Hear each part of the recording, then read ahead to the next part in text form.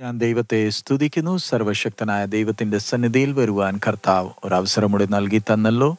നമ്മുടെ ഇന്നത്തെ വചന ധ്യാനത്തിനായി സങ്കീർത്തനം ഏഴിന്റെ ആൾ ആറ് തൊട്ട് പത്താമത്തെ വാക്യം വരെ നമുക്ക് വായിക്കാം. യഹോവേ കോപത്തോടെ എഴുന്നേൽക്കണമേ. എന്റെ വൈരികളുടെ ക്രോധത്തോടെ എതിർത്ത് നിൽക്കണമേ. എനിക്ക് വേണ്ടി ഉണരേണമേ. നീ ന്യായവിധി കൽപ്പിച്ചുവല്ലോ. ജാതികളുടെ സംഘം നിന്നെ ചുറ്റി നിൽക്കട്ടെ. നീ അവർക്കു മീതെ കൂടി ഉയരത്തിലേക്ക് മടങ്ങേണമേ. യഹോവ ജാതികളെ ന്യായം വിധിക്കുന്നു. യഹോവേ എന്റെ നീതിക്കും പരമാർത്ഥതയ്ക്കും തക്കവണ്ണം എന്നെ വിധിക്കണമേ. ദുഷ്ടന്റെ ദുഷ്ടത തീർന്നു പോകട്ടെ. നീതിമാനെ നീ ഉറപ്പിക്കണമേ. നീതിമാനായ ദൈവം ഹൃദയങ്ങളെയും അന്തരീന്ദ്രിയങ്ങളെയും ശോധന ചെയ്യുന്നുവല്ലോ. എന്റെ പരിച ദൈവത്തിന്റെ പക്കലുണ്ട്. അവൻ ഹൃദയ പരമാർത്ഥികളെ രക്ഷിക്കുന്നു. ഈ സങ്കീർത്തനത്തിന്റെ ആദ്യത്തെ വാക്യങ്ങളിൽ ദാവീദ് തന്റെ കർത്താവിന്റെ മുമ്പേ തന്റെ നിഷ്കളങ്കത വെളിപ്പെടുത്തുന്നുണ്ട്. അത് കഴിഞ്ഞിട്ട് ദാവീദ് തന്റെ കർത്താവിന്റെ മുമ്പേ സകല ലോകത്തെ വിധിക്കുവാൻ യോഗ്യനായ കർത്താവിന്റെ മുമ്പിൽ അവന്റെ ആശ്രയം വെളിപ്പെടുത്തുന്നുണ്ട്. ദാവീദ് രാജാവാണെങ്കിലും ദാവീദിനറിയാം അവന്റെ കർത്താവ്. നീതിയോട് മാനവജാതിയെ വിധിക്കും. ചിലപ്പോഴൊക്കെ നമുക്ക് തോന്നിയേക്കാം ദുഷ്ടതയും പാപവും നീതിയുടെ മേൽ ജയം പ്രാപിക്കുന്ന പ്രാപിക്കുന്നുണ്ടെന്ന് നമുക്ക് ചിലപ്പം തോന്നിയേക്കാം. പക്ഷെ ദാവീദ് ഇവിടെ വിശ്വാസത്താൽ ദൈവത്തിന്റെ മുമ്പേ പ്രാർത്ഥിക്കുന്ന ആ പ്രാർത്ഥന നമുക്ക് കാണാം. ദാവീദ് പറയുന്നത് യഹോവ മനുഷ്യനെ ന്യായവിധിക്കുന്ന നമ്മളെ പോലെ ദൈവത്തിന്റെ ന്യായവിധിയുടെ ആഴങ്ങളെ ദാവീദിന് അത്രയും അറിയത്തില്ലായിരുന്നു. നമ്മുടെ കയ്യിൽ ദൈവത്തിന്റെ വചനമുണ്ട് പഴയതും പുതിയ നിയമം രണ്ടുമുണ്ട് നമുക്ക് വിസ്താരത്തിൽ അറിയാമല്ലോ ദൈവത്തിന്റെ ന്യായവിധി എങ്ങനെയാണ്.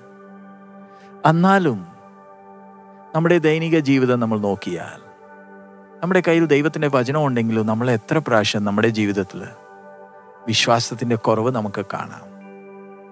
പഴയ നിയമ ഭക്തന്മാർ നമ്മളെക്കാട്ടും കൂടുതൽ വിശ്വാസമുണ്ടെന്ന് നമുക്ക് കാണാമല്ലോ. ദാവീദ് തന്റെ ജീവിതത്തെ തിരിഞ്ഞു നോക്കുമ്പോൾ ദാവീദിന് ഉറപ്പുണ്ട്. ദുഷ്ടത കൂടുതൽ നേരത്തേക്ക് കൂടുതൽ നാളത്തേക്ക് ജയിക്കത്തില്ല. കാരണം നീതിമാനായ ദൈവം തക്ക സമയത്ത് നീതിയിൽ ന്യായം വിധിക്കും. തന്റെ നീതിയെ സ്ഥിരപ്പെടുത്തും.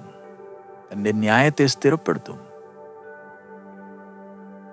നമ്മൾ ദൈവവചനത്തിൽ കാണുന്നുണ്ടല്ലോ ദൈവം തന്റെ ഉദ്ദേശത്തെ എങ്ങനെ സ്ഥിരപ്പെടുത്തുന്നത്? ശത്രു അതിനെ തടസ്സപ്പെടുത്താൻ എത്ര ബന്ധപ്പെടുന്നുണ്ടെങ്കിലും ദൈവം തന്റെ പദ്ധതി നിവർത്തുന്നത് നിവർത്തിക്കുന്നത് നമുക്ക് കാണാമല്ലോ.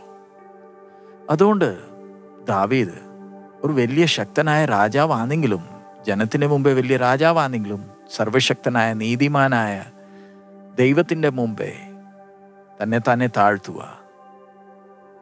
കാരണം ദാവീദിനറിയാം ദൈവം തന്റെ വാഗ്ദത്തങ്ങൾക്ക് തക്കവണ്ണം വിധിക്കും. ദാവീദ് ദൈവത്തെ സ്നേഹിക്കുന്നുണ്ട് സത്യത്തിൽ വസിക്കുവാൻ ആഗ്രഹിക്കുന്നുണ്ട്. അവൻ കാണുന്നുണ്ട്. അവന്റെ ശത്രുക്കൾ അവന്റെ വിരോധം എങ്ങനെ എഴുന്നേക്കുന്നത്? ഒരു കാരണമില്ലാതെ. അതുകൊണ്ടാണ് ദാവീദ് പ്രാർത്ഥിക്കുന്നത്. ദുഷ്ടന്മാരുടെ ദുഷ്ടത ദുഷ്ടതയ്ക്ക് ഒരു അവസാനം വേണമേ. ദാവി തന്റെ ജീവിത മുഖാന്തരം പഠിച്ചിട്ടുണ്ട്. സർവശക്തനായ ദൈവം ഈ പാപം നിറഞ്ഞ ലോകത്തിൽ തന്റെ നീതിയെ സ്ഥിരപ്പെടുത്തും. കാരണം കർത്താവ് മനുഷ്യന്റെ ഹൃദയങ്ങളെയും വിചാരങ്ങളെയും ശോധന ചെയ്യുന്നവനാണ് സർവശക്തനായ ദൈവം മനുഷ്യന്റെ സാക്ഷികളുടെ ആധാരത്തിൽ അവരുടെ സാക്ഷ്യത്തിന്റെ ആധാരത്തിലല്ല വിധിക്കുന്നത്. കാരണം ദൈവത്തിനു വേണ്ടി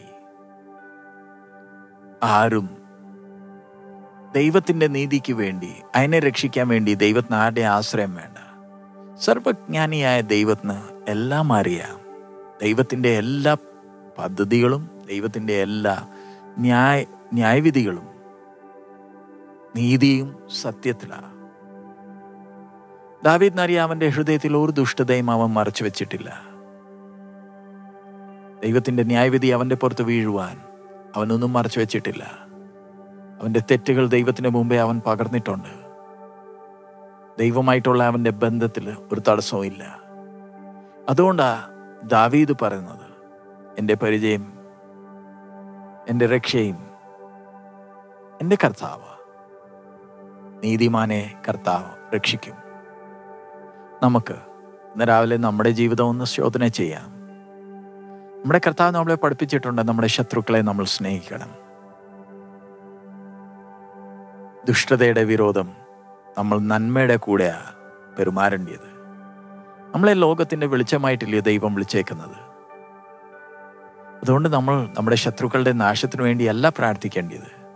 അവ നമ്മളെ എത്ര പീഡിപ്പിച്ചാലും പക്ഷെ നമ്മളുടെ പ്രാർത്ഥനയായിരിക്കണം അവരും ഈ സത്യം അറിയുവാൻ. കർത്താവ് യേശു തന്റെ ജീവിത മുഖാന്തരം നമ്മുടെ മുമ്പേ ഒരു മാതൃക കാണിച്ചു തന്നിട്ടുണ്ട്. ഈ സങ്കീർത്തനം ഒരു വലിയൊരു സന്ദേശം നമ്മുടെ മുമ്പേ കാണിക്കുന്നുണ്ട്. നമ്മുടെ കർത്താവ് ഈ ലോകത്തെ വിധിക്കും. ആ കർത്താവിന്റെ മുമ്പേ ആർക്കും എക്സ്ക്യൂസ് പറഞ്ഞ് രക്ഷപ്പെടാൻ കഴിയത്തില്ല. സകല മാനവജാതി പാപത്തിന്റെ അടിമകളാ. ആ ന്യായവിധിയിൽ നിന്ന് രക്ഷപ്പെടാൻ ഒട്ടേ ഒരു മാർഗമേ ഉള്ളൂ. കർത്താവായ യേശു മുഹാന്തരം സ്വർഗം നമുക്ക് ഒരു ഫ്രീ ആയി തന്നേക്കുന്ന. ആ രക്ഷ ആ ദാനത്തെ സ്വീകരിക്കണം. നമ്മൾ എത്ര അനുഗ്രഹിക്കപ്പെട്ടവരാ. നമ്മുടെ രക്ഷയ്ക്കായി സ്വർഗം വില കൊടുത്തു കഴിഞ്ഞു. നമ്മൾ ഈ ദാനത്തിന്റെ വില മനസ്സിലാക്കണം. ദൈവം നമ്മുടെ ഹൃദയങ്ങളെയും വിചാരങ്ങളെയും ശോധന ചെയ്യുന്നവന്. അതിന്റെ ആധാരത്തിലാണ് വിധിക്കുന്നത്. പാപത്തിന്റെ ബന്ധനത്തിന് ദൈവം നമ്മളെ വിടുവിച്ചു. പക്ഷെ നമ്മുടെ ജീവിതം നമ്മൾ വിശുദ്ധിയിൽ കാക്കണം. പാപത്തിന്റെ മോഹങ്ങളെയും സുഖങ്ങളെയും നിന്ന് നമ്മൾ നമ്മളെ തന്നെ കാക്കേണ്ടതാ. പാപം നമ്മളെ കളങ്കം നമ്മുടെ ജീവിതത്തെ കളങ്കമാക്കും. ദൈവത്തിന്റെ സന്നിധിയിൽ നമ്മളെ ദൂരെ നിർത്തും. ദാവീദ് പ്രാർത്ഥിക്കുന്നത് എന്റെ രക്ഷ എന്റെ കർത്താവ. നീതിമാനെ ദൈവം രക്ഷിക്കും. നമ്മളും ദൈവസന്നിധിയിൽ നിൽക്കുമ്പോൾ നമ്മളെ തന്നെ നമ്മളെ ശോധന ചെയ്യേണ്ടതാ ദൈവവചനം സ്പഷ്ടമായി പറയുന്നു റോമർ എട്ടിന്റെ ഒന്ന്. അതുകൊണ്ട് ഇപ്പോൾ ക്രിസ്തു യേശുവിലുള്ളവർക്ക് ഒരു ശിക്ഷാവിധിയുമില്ല. നമ്മൾ നമ്മളെ തന്നെ വഞ്ചി വഞ്ചിക്കല്ലേ? നമ്മൾ യേശുവിന്റെ നാമം എടുക്കുന്നുണ്ട്. ഞാൻ ദൈവവചനം എല്ലാ ദിവസവും വായിക്കുന്നുണ്ട് പറഞ്ഞിട്ട് രക്ഷപ്പെടാൻ കഴിയത്തില്ല. നമ്മൾ മേളി വായിച്ച ആ വാക്യം സ്പഷ്ടമായി പറയുന്നത് ക്രിസ്തു യേശുവിൽ വസിക്കുന്നവൻ ജഡത്തിന്റെ അനുസരണം നടക്കാത്തവൻ പക്ഷെ ദൈവത്തിന്റെ ആത്മാവിന്റെ നിയോഗം അനുസരിച്ച് നടക്കുന്നവന്റെ മേൽ ഒരു ശിക്ഷാവിധിയുമില്ല. നമ്മൾ ഓർക്കണം നമ്മുടെ ജീവിതം ദൈവത്തിന്റെ മുമ്പേ ദഹിപ്പിക്കുന്ന അഗ്നിയുടെ മുമ്പേ തുറന്നിരിക്കുക. പാപത്തിന്റെ കൂടെ നമ്മൾ കളിക്കല്ലേ? കപടഭക്തി നമ്മൾ കാണിക്കല്ലേ? നമുക്ക് ക്രിസ്തു യേശുവിൽ വസിക്കാം. നമ്മുടെ ജീവിതത്തിൽ വിശ് ജീവിതത്തെ വിശുദ്ധിയിൽ കാക്കാം. ഇങ്ങനെയാണെങ്കിൽ ദൈവത്തിന്റെ ന്യായവിധിയിൽ നമുക്ക് ഭയപ്പെടേണ്ട ആവശ്യം വരുത്തില്ല. അതിനായി ദൈവം നമ്മളെ സഹായിക്കുമാറാകട്ടെ. നമുക്ക് പ്രാർത്ഥിക്കാം. കർത്താവേ എന്റെ വചനത്തിനായി സ്തോത്രം. നീ ഞങ്ങൾ ഓരോരുത്തരോടും സംസാരിക്കുന്നതിനായി സ്തോത്രം. ഞങ്ങൾ സമ്മതിക്കുന്നു. ഞങ്ങളുടെ ജീവിതത്തിൽ ഒത്തിരി പ്രാവശ്യം ഞങ്ങൾ നിന്റെ ഹിതത്തിൽ നിന്ന് മാറിയിട്ടുണ്ട്. കർത്താവേ നീ ഞങ്ങൾക്ക് ഒരു അവസരം കൂടെ തരുന്നതിനായി സ്തോത്രം. രക്ഷയുടെ ദാനത്തിനായി സ്തോത്രം. ഈ ദിവസങ്ങളിൽ ഈ ദാനത്തിന്റെ വില മനസ്സിലാക്കി ഭയത്തോടും വിരയലോടും ഞങ്ങളുടെ രക്ഷയ്ക്കായി പ്രവർത്തിക്കുവാൻ നീ ഞങ്ങളെ സഹായിക്കണമേ. എന്റെ വരവെടുത്തു. ലോകം ഞങ്ങളോട് എങ്ങനെ പെരുമാറിയാലും നീ ഞങ്ങളെ കാണിച്ചു തന്ന ആ മാതൃക അനുസരിച്ച് ജീവിപ്പാൻ. നീ ഞങ്ങളെ സഹായിക്കണമേ. എല്ലാ മാനമഹത്വം നിനക്കായി അർപ്പിക്കുന്നു. യേശുവിൻ നാമത്തിൽ തന്നെ. ആമേൻ. ദൈവം നമ്മളെ ഓരോരുത്തരെ അനുഗ്രഹിക്കുമാറാട്ടെ നമ്മുടെ കർത്താവ് വേഗം വരാറായി. മാറണത്